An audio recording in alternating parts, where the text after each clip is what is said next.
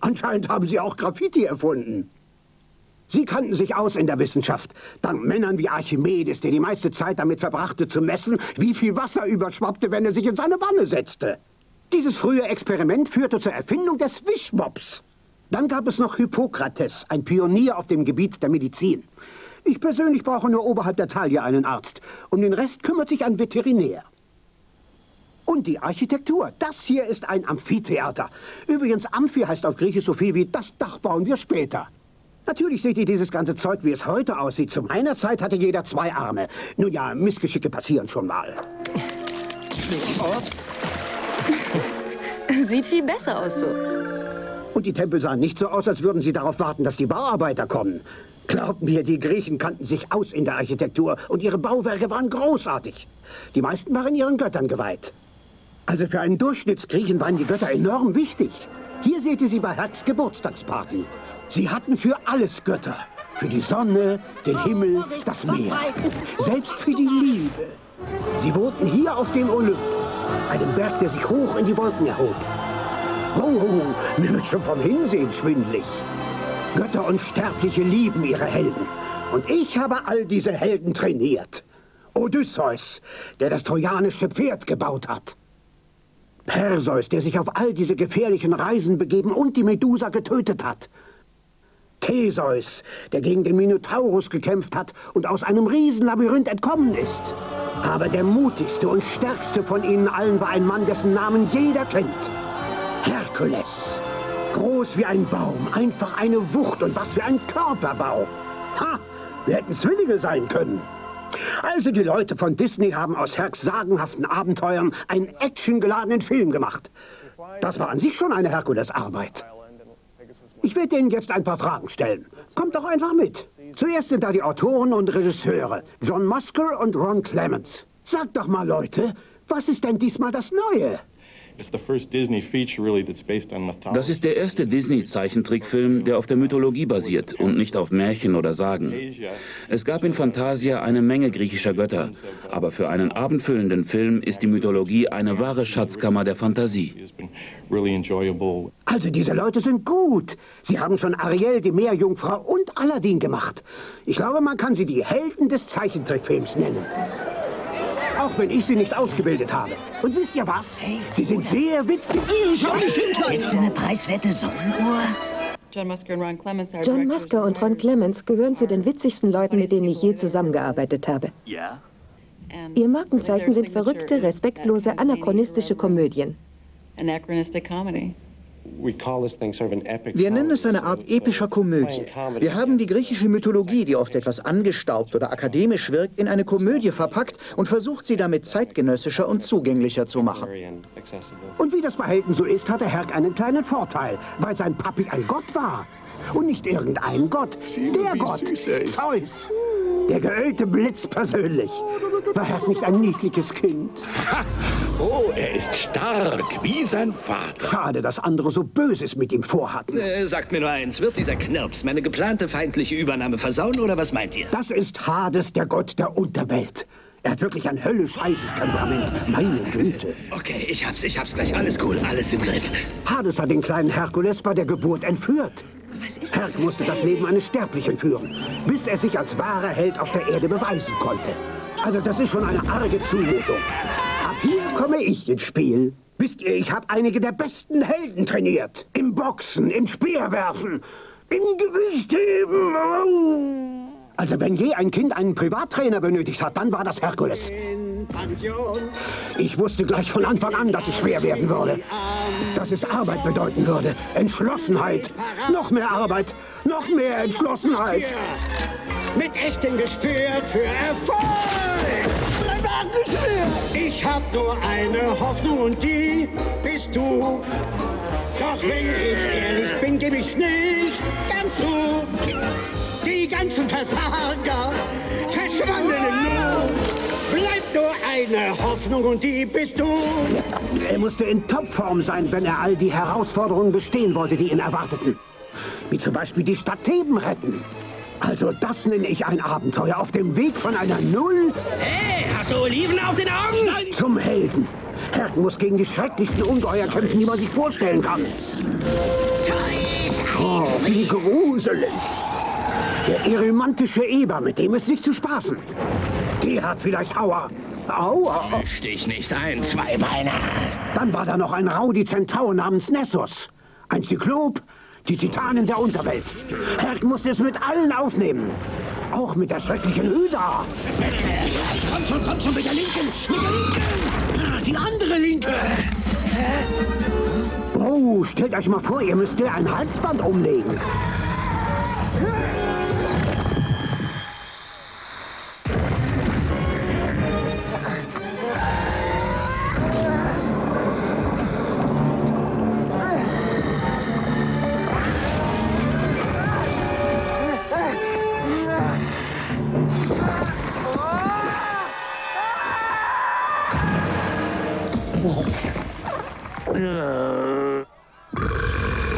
Und die ganze Zeit lauert im Hintergrund der dunkle Drahtzieher, der heimtückische Hades.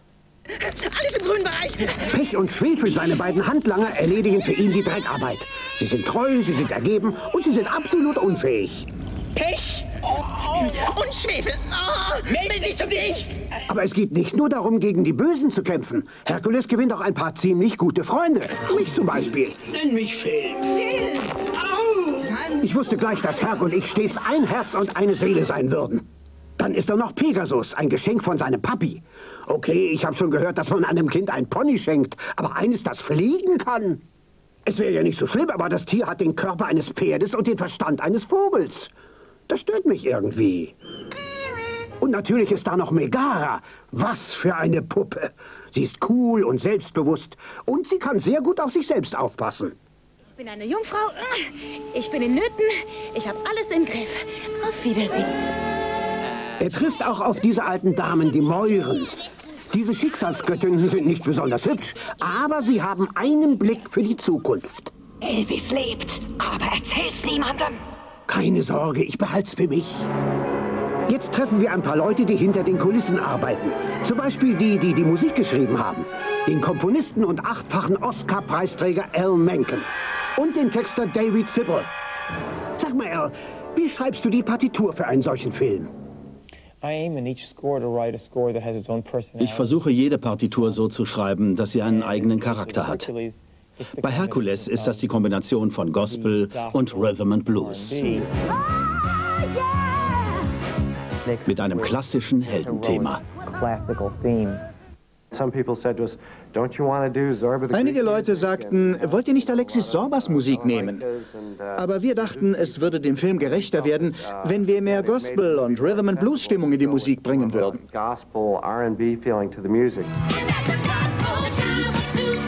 Wir dachten, in gewisser Weise passt die Gospelmusik am besten zu diesem Film. Denn es ist ein so großes Thema. Es handelt von Hoffnungen, es handelt von Träumen, es handelt von den Göttern.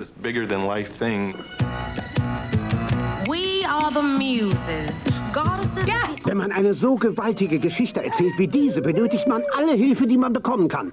Zum Glück war da bereits ein Chor vorhanden, die Musen. Erzählen nicht nur die Geschichte, Mann, sie können auch ein Lied schmettern. planet Earth was down on its luck. And everywhere gigantic brutes called Titans ran amok. Das war ja ekelhaft. Der ganze Dreck war echt ein Problem.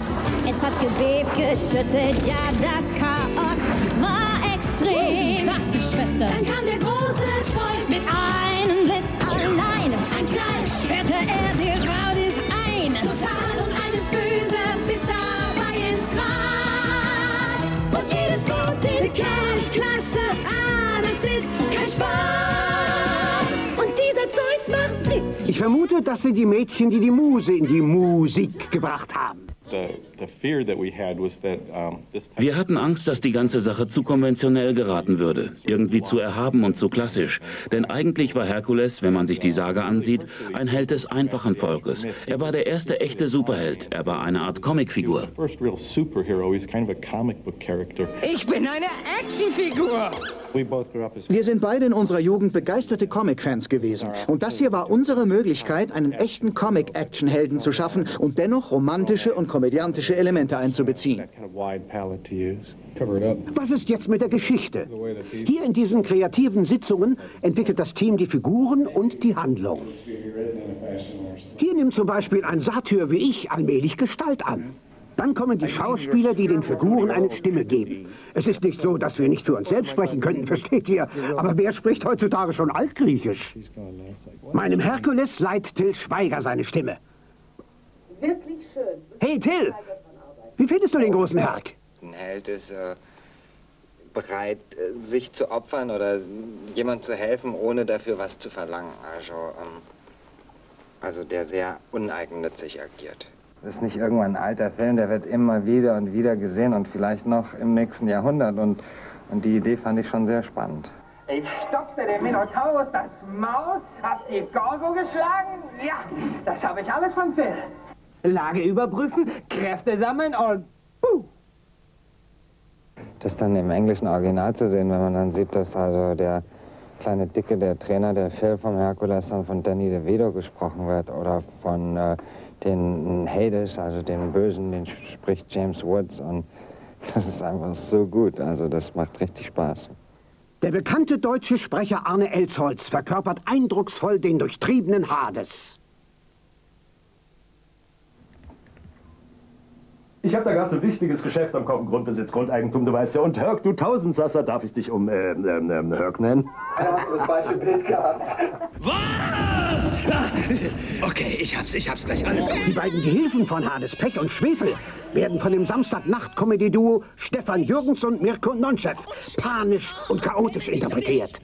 Ich denke, die Kombination Mirko Nonchev und Stefan Jürgens war für eine Kombination wie Pech und Schwefel äh, eine ganz attraktive wie das so schön heißt, die beiden halten auch zusammen wie Pech und Schwefel und da ist die Kombination zwischen Mirko und mir natürlich sehr, sehr, äh, sagen wir mal, etabliert und auch äh, sehr spaßig. Und wir haben uns da beide, glaube ich, ganz schön in die Höhe getrieben. Aber es war trotzdem so, dass ich, äh, dass keine Kamera da war und ich gesprochen habe, aber trotzdem sich alles bewegt hat. Also der Kollege von mir, der Herr Jürgens, stand neben mir und er musste halt immer ein bisschen Abstand nehmen, weil ich halt mit dem ganzen Körper arbeite und so. Aber ja, das ist eigentlich der einzige Unterschied. Ansonsten habe ich damit gar kein Problem, wenn keine Kamera da ist. Jasmin dabei. du sprichst doch die Mac. Wie ist die so? Mac, ähm, ich würde sagen, Mac ist eine Frau, die einen sehr trockenen Humor hat. Sie ist sehr resolut manchmal. Sie ist ähm, selbstbewusst, frech und äh, unheimlich romantisch. So eine interessante Rolle zu sprechen macht doch Riesenspaß, oder? Besonders schwierig fand ich allerdings das synchrone Singen, also das Synchronisieren Singen, weil man dann eben auch noch beim Singen darauf achten muss, dass die Lippenbewegungen möglichst gut, also, syn also synchron sind. Die Herren gehen mir auf die Nerven. Das habe ich hinter mir. Männer spinnen. Nicht mein Sohn! Und Wolfgang Dehler lieh Zeus seine kraftvolle Stimme. Ach, sieh nur, wie süß er ist. Oh, oh, oh, er ist stark. Genau wie sein Vater. Und was ist mit Phil? Ich heiße Mogens von Gado und durfte Phil sprechen und ihn auch singen. Jetzt können wir Nick Renieri, der Hades gezeichnet hat, fragen, wie man die aufgenommenen Stimmen und die Bilder zusammenbringt. Hades ist eine ganz besondere Art von Schurke. Er ist wie ein Gebrauchtwagenhändler. Er quasselt ununterbrochen. Er hat etwas von einem Hollywood-Agenten. Und ich habe mir zur Inspiration Vorbilder aus der Unterhaltungsindustrie gesucht. Aber ich werde keine Namen nennen. inspiration from, and I won't mention any names. Wenn wir eine Figur entwerfen, die sich im Wesentlichen über ein Gefühl definiert, dann muss man das schon an ihren Augen erkennen und alle weiteren Details aus diesem speziellen Gefühl ableiten. Warte, Moment! Vielleicht können wir ihm die Musik einfach abdrehen. Genau. Und vergiss nicht, er ist jetzt sterblich. Unser Ding. Gut, oder?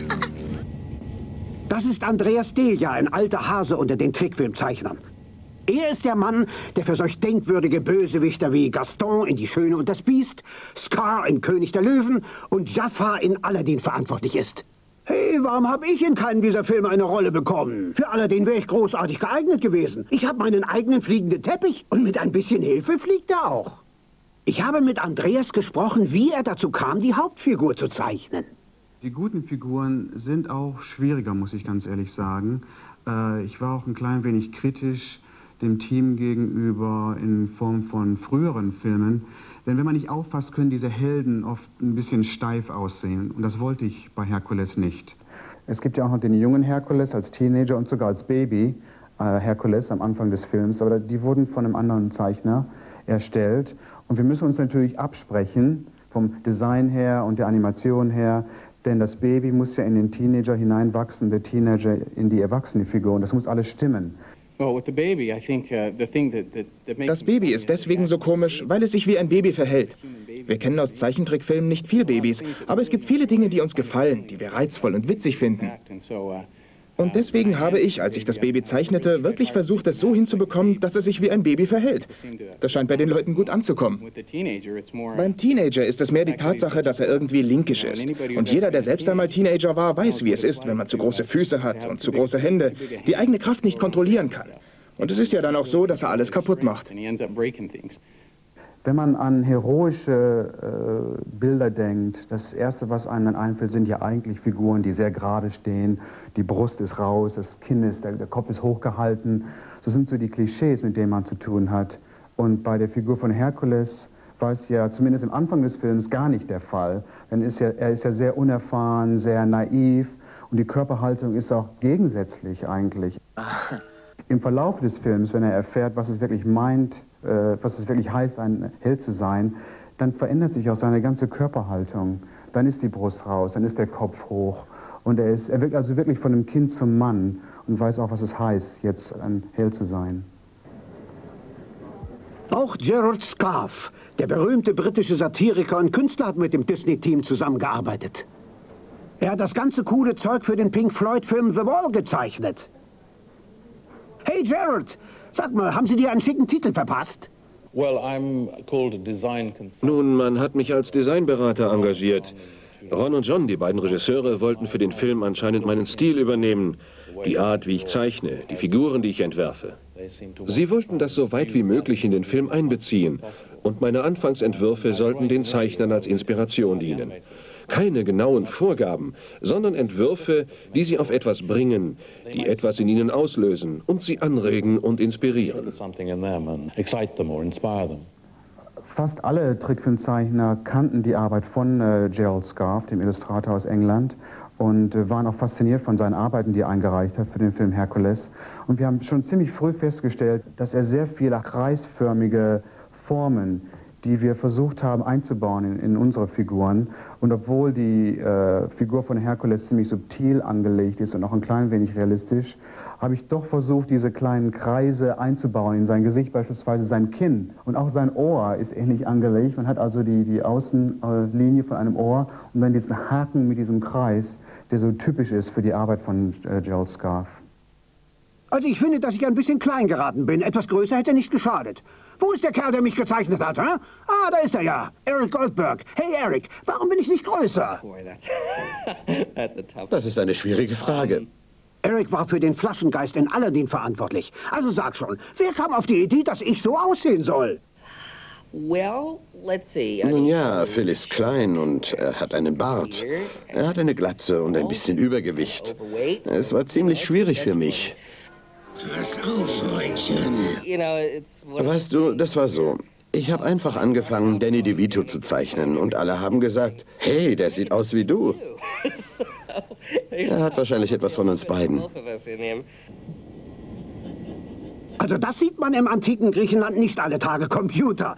Er ist der natürliche Partner für die Jungs mit den Zeichenstiften, weil er ihnen erlaubt, die traditionelle Animation mit der allerneuesten Technologie zu kombinieren. Die Hydra war eine besondere Herausforderung und eine klare Angelegenheit für den Computer, denn wir wollten nicht 30 verschiedene Köpfe zeichnen und so konnten wir Teile von ihr beliebig kopieren. Wichtig war, dass sie nicht wie Duplikate wirkten. Bei der Hydra und ähnlich schwierigen Darstellungen darf das Publikum nicht merken, dass es sich um Computertechnologie handelt. Deswegen war unsere größte Schwierigkeit bei der Hydra, sie wie eine Zeichnung aussehen zu lassen und nicht wie eine dreidimensionale Figur aus Toy Story. Seit zehn Jahren bedienen wir uns bei der Animation mehr und mehr des Computers, um das zu realisieren, was vorher nicht machbar war. Die Regisseure waren wirklich begeistert von der Hydra. Man schneidet ihr einen Kopf ab und er wächst wieder nach und wird immer schrecklicher und grimmiger. Und sie sagten, früher hat man in Darstellungen drei Hydraköpfe gesehen oder sechs oder neun. Aber schaffen wir 30? Können wir dieses Ungeheuer in einer Größenordnung haben, die noch nie da war? So gigantisch, dass Herkules auf Pegasus springen und hineinfliegen muss in diesen lebenden Dschungel der Hydra.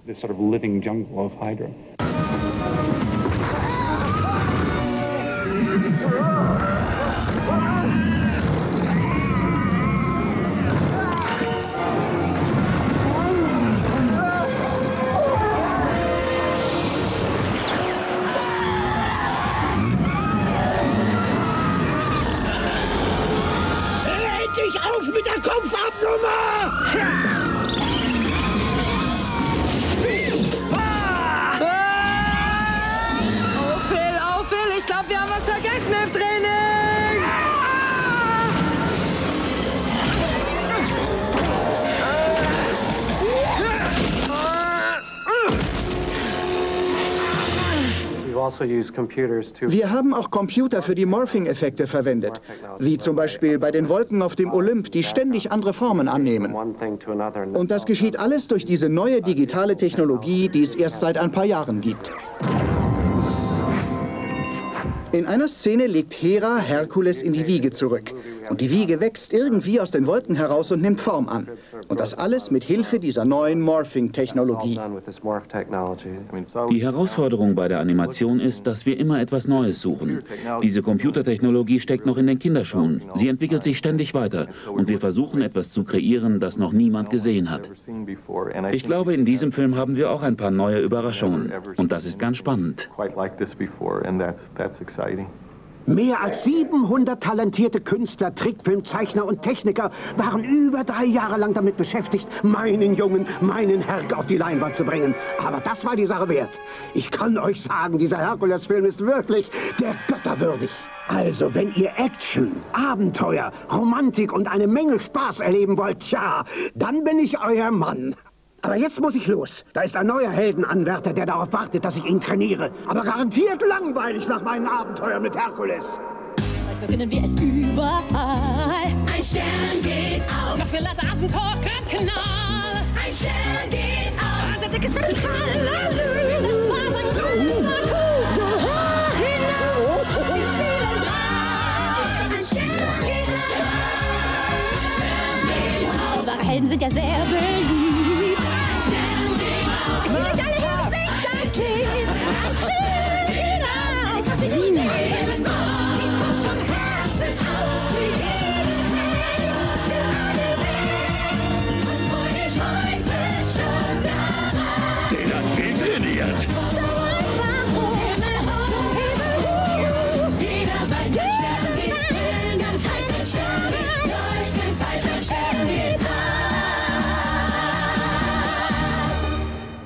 gemacht. Ausgezeichnet.